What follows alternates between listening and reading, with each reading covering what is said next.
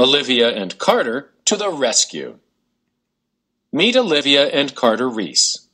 They started a group that works to save animals. Olivia was seven years old, and Carter, her brother, was eight and a half.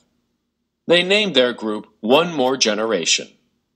They want animals to be around for kids in the future. Olivia and Carter believe everyone can make a difference. They are sending an important message. Their message is that everyone can help animals. Olivia and Carter watched oil spread for miles across the Gulf. More and more animals were getting sick. The Kemp's Ridley turtle was one of them.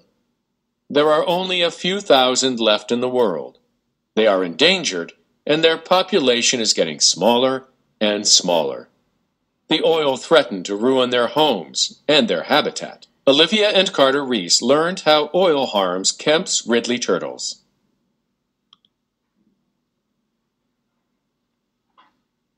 Oil spoils everything.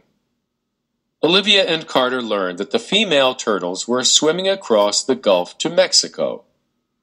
They were going to lay eggs on the beaches there, but the thick oil destroyed the resources the turtles need to live. The harmful oil covered the sand. It made it hard for them to swim. Sea turtles survive by eating seaweed, jellyfish, and small sea animals. The oil spill spoiled their food, too. Without food, the turtles die. This female turtle is clean and healthy. It is being returned to the Gulf.